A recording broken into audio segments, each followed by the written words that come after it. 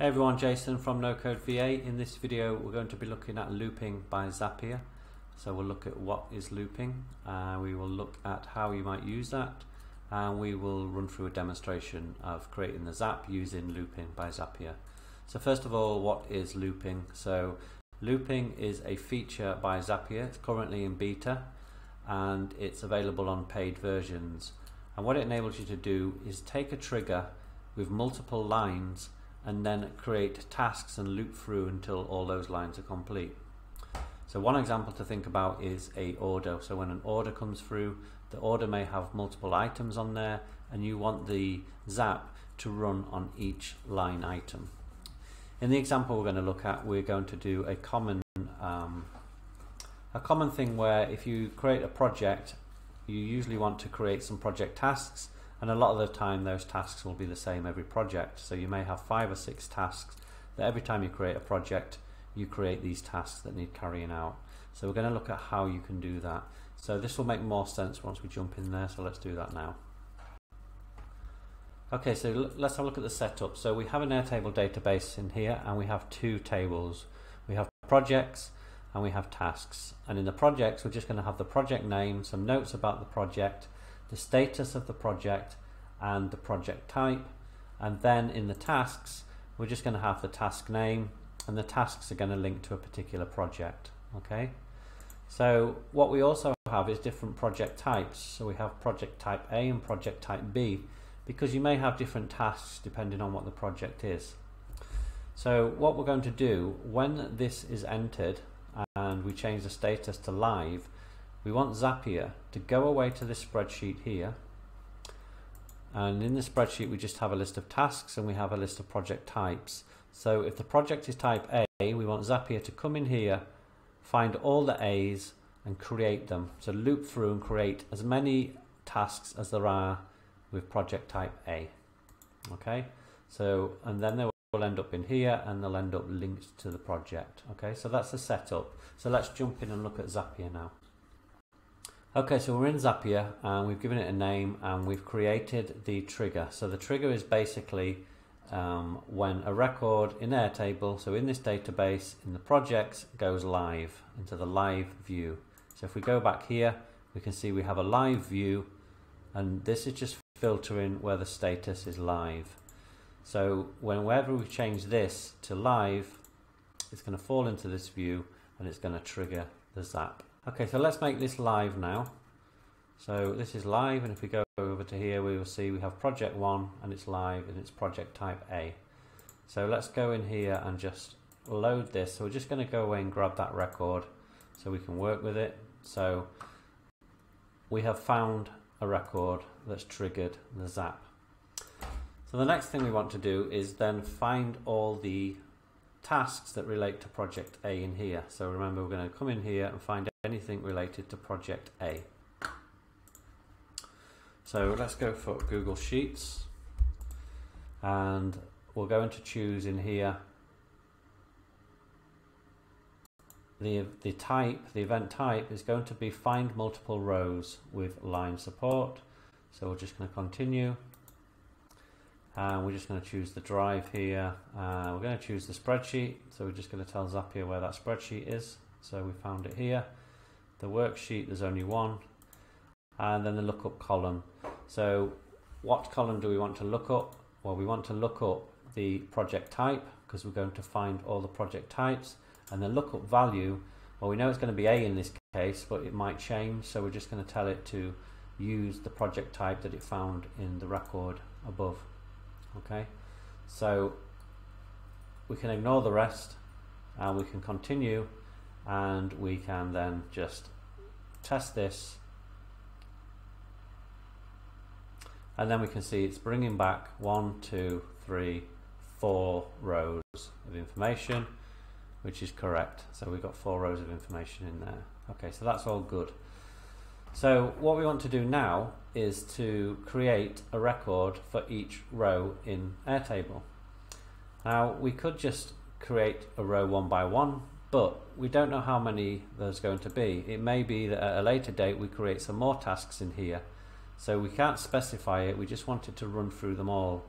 And what we can do, we can do we can use the looping by Zapier at this point. So we'll just click looping by Zapier and the event is going to be to create a loop from line items. We're going to continue now. And then the values we want to look up are the task. So we're just going to say the task is and we're just going to pick the value from here. So this is the task name. So column A. So we're looking in column A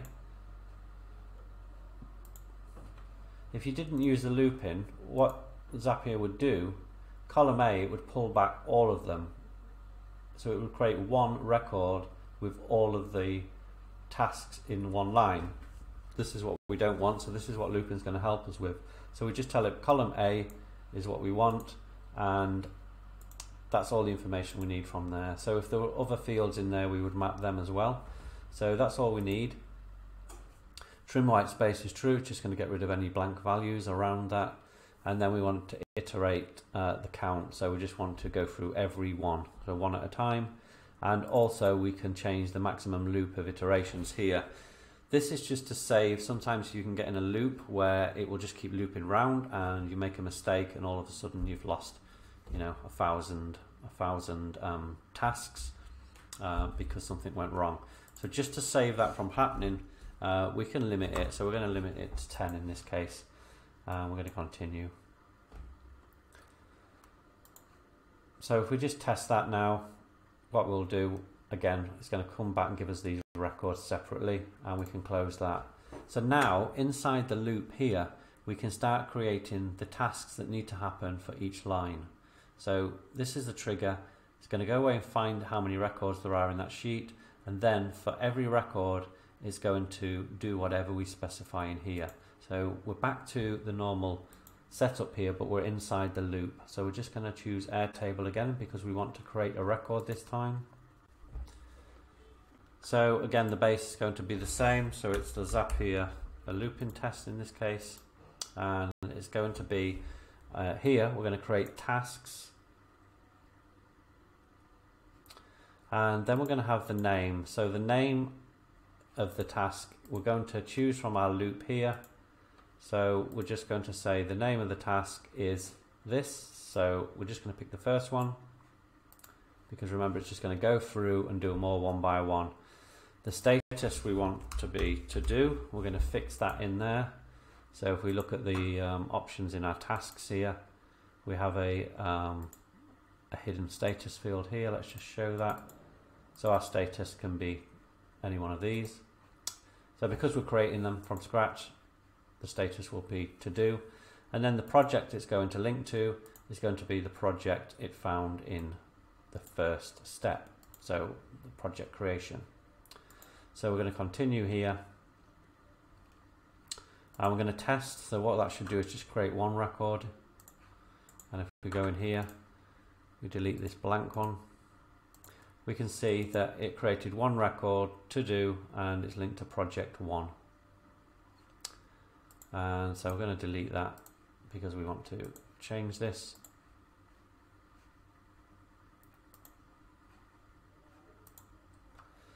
okay so that's the that's the Zap done. We could, if we want, add more things to do, more tasks, and every ta every task is going to be carried out for every line. But this is good enough for what we need now. So let's just turn this Zap on. And close that. And now let's just go into here and let's create a new project. So we're going to create one called My Project 2 and it's going to be let's choose project A again and now let's make this live and then we should see the tasks four tasks created in here into here. So to save time we're just going to run this manually now. So I'm just going to click on here.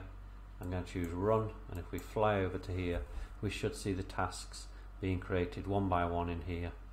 So there we go one two three four. So it's created four tasks based on project A. So we can see email client, set up, evaluate and create report. And if we go to the project, we can see that it's linked to that project there. Okay, so now let's just do another one called My Project Free. And this time we're going to choose, uh, this is going to be a project B type this time. And again, we're going to make this live. And if we fly over to here, what we should see, if we run the zap again, um, this one here, and fly over there, we should now see four tasks being created and these are tasks B, so the different con contact supplier, get stock levels, place an order, arrange delivery. So this is project B, it's created for us. And if we look at here, group by project, we can see it a little bit better. And so it's done exactly what we wanted. Now the beauty of this is that if we now add a, another, um, let's have uh, confirm confirm delivery. So we've added another task on here now that we want to be for, for type Bs. So now let's just create another project. And this is called uh, my project 4. It's going to be B again. And we're going to make it live. We're just going to manually run this again to speed things up. And what we should see in tasks is an extra one be created. So project 4 has now got confirmed delivery in here.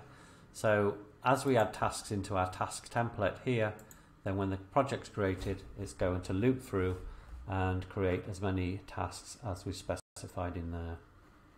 And if we go back to here, project 4, we can see them in here as well. Okay, so that's how it works. Uh, it's very useful. So again, think of it for you know orders and line types and things like that. In this instance, it's very useful for creating project tasks. Um, it's in beta still, so um, there may be some little bugs and things, but it's been in for a while, so hopefully things are okay. Um, but yeah, check it out, and if you have any questions, let me know. And thanks as always for listening.